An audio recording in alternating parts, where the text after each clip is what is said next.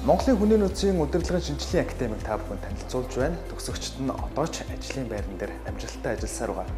Үндсэн 5 чиглэлээр сургалт явуулж байгаа бөгөөд эдгээрт хүний нөөцийн менежер, хөдөлмөр аюулгүй байдал эрүүл ах үе, ам сургуулийн өмнөх боловсрал буюу цэцэрлэгийн туслах багш, санхүүч, нэгтлэн модогч, офис менежер, архив, албан хөтлөлт гэсэн эдгээр 5 чиглэлээр сургалт явуулж байгаа.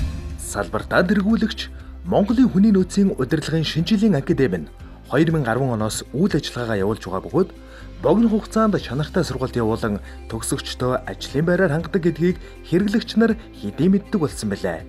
2015 оноос хөдөлмөрийн аюулгүй байдал эрүүл ахуйн ажилтан бэлтгэх 30 хоногийн сургалтыг явуулж эхэлсэн бөгөөд хөдөлмөр нийгмийн хамгааллын яамнаас тусгай зөвшөөрлөлтөөр үйл ажиллагаа явуулж байна.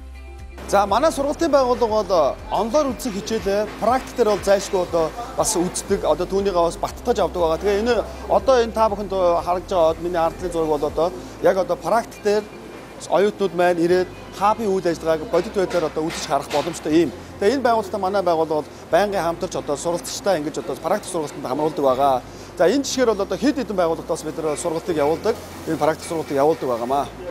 Томоохон хэмжээний үйлдвэрлэл үйлчилгээ ялангуяа барилга уул уурхайн салбарт заавал байх ёстой ажилтан бол хөдөлмөрийн аюулгүй байдал эрүүл ахуйн ажилтан. Сүүлийн жилүүдэд эрэлттэй байгаа энэ чиглэлээр хамгийн сайн мэрэгшүүлж найдвартай ажлын байранд зуучилдаг. Энэ бол Монголын хүний нөөцийн удирдлагын шинжилгээ акт.